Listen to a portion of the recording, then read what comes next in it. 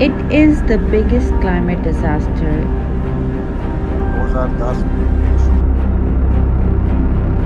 In July and August 2022, Pakistan received 391 millimeters of rainfall, about double of what it usually receives in this period.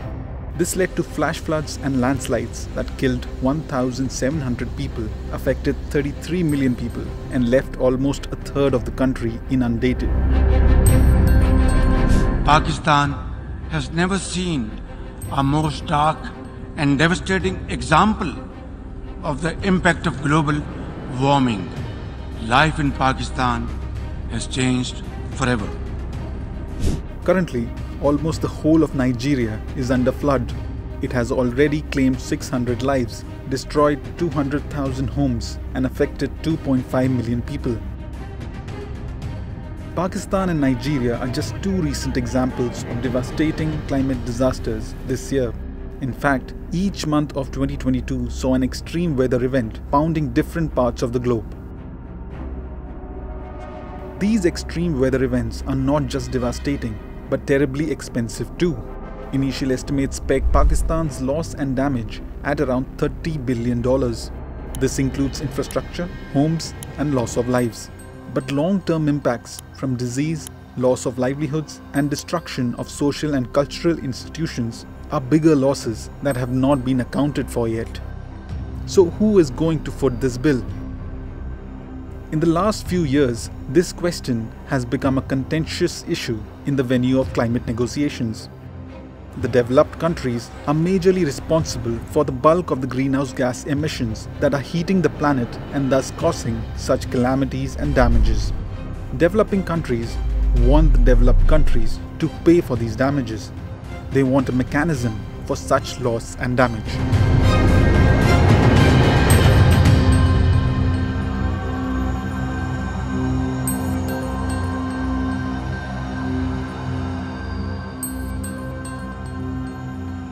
Over the course of this COP, the Alliance of Small Island States developed a historic proposal for loss and damage that went on to win the support of the representatives of 6 billion of the world's people.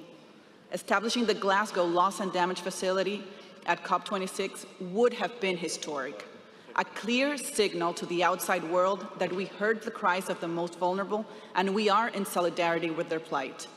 However, this was a red line for a handful of developed, developed countries. And instead, what we got was a dialogue. How is this climate justice? There is scientific consensus that anthropogenic climate change is changing weather patterns across the globe. The worst affected by these natural disasters are developing countries that are not responsible for climate change. Take the example of Vanuatu, a South Pacific island country it is a net positive carbon emitter, which means it soaks in more carbon dioxide than it emits, and therefore is not responsible for climate change. But does being an environment friendly nation help to avert climate disasters? Absolutely not.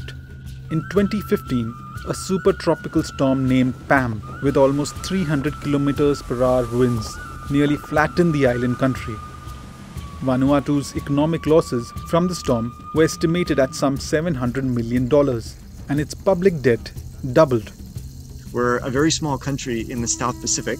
Uh, we're an archipelago, 83 islands, but only 300,000 people. And you can imagine, you know, beautiful landscapes and very friendly communities, which we are. But unfortunately, we're also very much on the front lines of the climate crisis. Um, I just wanted to highlight um, the, the two major extremes that we've uh, experienced in the last years, two Category 5 cyclones. Now, these are not um, minor storms. Uh, both of these storms uh, caused a loss of over 60% of GDP in both cases. And in the case case of cat- uh, Category 5 Cyclone Pam that wiped out 96% of our food crops, so huge levels of loss and damage. Similarly, Pakistan's share of carbon dioxide emissions is only 0.7%, but it is straddled with a $30 billion bill from the 2022 super floods. It's the face of the climate victim has to be at the center stage of the negotiations because that then brings out the principle that if, if we have a polluter pays principle which has been established, when you have pollution disasters, you say the polluter must pay. And you say that also as a matter of global principle lawmaking because it is a deterrence for more pollution, which is where the question of loss and damage is about deterrence. It's about saying that if you don't reduce your emissions at the scale you're supposed to, you will have to pay reparations. What is interesting is not everyone is equally affected by the consequences of extreme weather events. As a down to earth analysis revealed, in the first nine months of 2022, extreme weather events affected 75 million people and caused over 10,000 deaths. Asia and Africa accounted for 94% of the people in both categories, but neither the US nor the EU figure amongst the top 10 countries that face these casualties, even though the US is historically responsible for 25% of the emission, while the EU's share is 17%.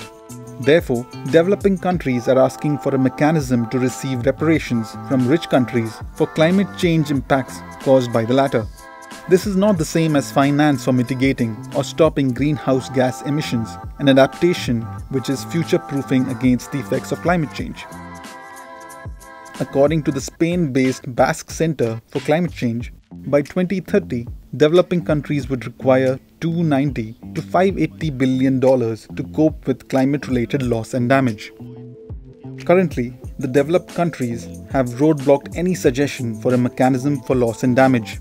In the 2021 climate conference in Glasgow, the developed countries scuttled a move to set up a financing facility for loss and damage. But that story is for another episode in this series. If you liked this episode, do give us a thumbs up and subscribe to our channel.